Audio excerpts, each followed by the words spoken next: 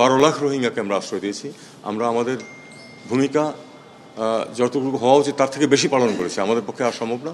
আর একজন রোহিঙ্গাকেও আশ্রয় দিতে রাজি না। কিন্তু কিছু ঢুকে যাচ্ছে, এটা আমরা জানি। সেটাকে আমরা যতটুকু পারা যায় ঠেকানোর চেষ্টা করছি। বিজিবি যেটা করছে সেটা হলো যে প্রতিদিনই কিন্তু পুশব্যাক করছে, যাদেরকে আমরা ধরতে পারছি। কিন্তু একটা বড় সড়ো এলাকা নিয়ে তারা বিভিন্ন জায়গায় দিয়ে সেগুলোকে সব ক্ষেত্রে যে আমরা ধরতে পারছি সেটা সামর্থ্যেরও কিছু সীমাবদ্ধতা আছে সে কারণে পারছি না কিন্তু আমরা যেখানে পারছি সেখানে কিন্তু আমরা ফেরত দেওয়ার চেষ্টা করছি। ইউএনএইচআর চায় যে আমরা তাদেরকে আশ্রয় দেই কিন্তু আমরা তাদের কাছে স্পষ্ট করেছি যে আমাদের যে বারো লাখ রোহিঙ্গাকে আমরা আশ্রয় দিয়েছি আমরা আমাদের ভূমিকা যতটুকু হওয়া উচিত তার থেকে বেশি পালন করেছি। আমাদের পক্ষে আর সম্ভব না। যারা আমাদেরকে উপদেশ দিতে আসে বা চায় তারা বরং তাদেরকে নিয়ে যাক। এই হলো আমাদের বক্তব্য। দেখা করেছে দেখা করেছে। এই বিষয়ে এ বিষয়ে আলাপ হয়েছে। সীমান্তের পরিস্থিতি। আপনারা কি আমি যেটা বললাম এটা সিচুয়েশন এটা নিয়ে আরেকটু আলোচনা করব। সেই সম্ভবত একটা মিটিং এখন হোম মিনিস্ট্রিতে হচ্ছে এটা নিয়ে। আরেকটু একটু জাতিসংঘের প্রধান উপদেষ্টা যাবেন তার সঙ্গে সাতজনের একটি তালিকা প্রকাশ হয়েছে। সেটি সঠিক সাতজনের যে তালিকা প্রকাশ হয়েছে সে- সেটা সঠিক তবে এর আগেও একটা তালিকা আছে যার মধ্যে আমি আছি। আমি আছি।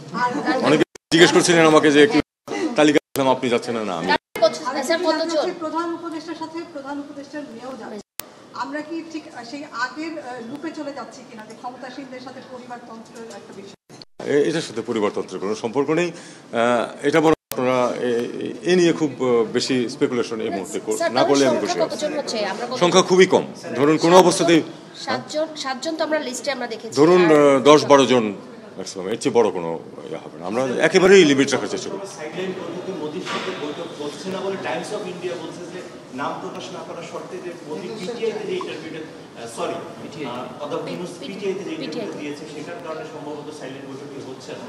এটা আমি এখনও কিছু বলতে চাই না কারণ আমাদের কাছে কোনো কনফার্মেশন নাই যে হচ্ছে অথবা হচ্ছে না। বস্তুত মোদি যে যাচ্ছেন এটাও একশো পার্সেন্ট নিশ্চয়তা আমরা এখনও পর্যন্ত পাইনি। আমাদেরকে একটা সম্ভাবনা আছে যে উনি যাবেন। বাংলাদেশ কি রিকোয়েস্ট করেছিল কোনো মিটিং এর জন্য ইউএন সেশনের সময়? এটা শুনুন এটার একটা পদ্ধতি আছে।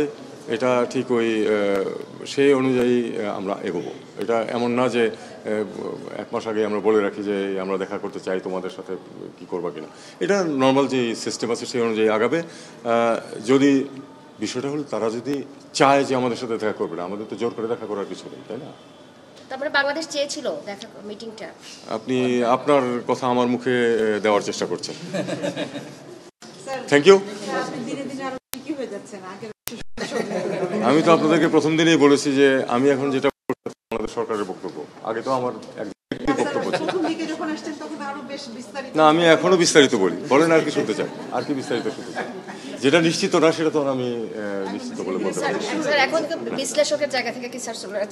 বিশ্লেষকের জায়গা থেকে অবশ্যই সরে এসেছি কারণ বিশ্লেষকের জায়গা তো অন্যরা দখল নিয়েছেন। তারা করবেন বিশ্লেষণ। অসুবিধা নেই। ধন্যবাদ।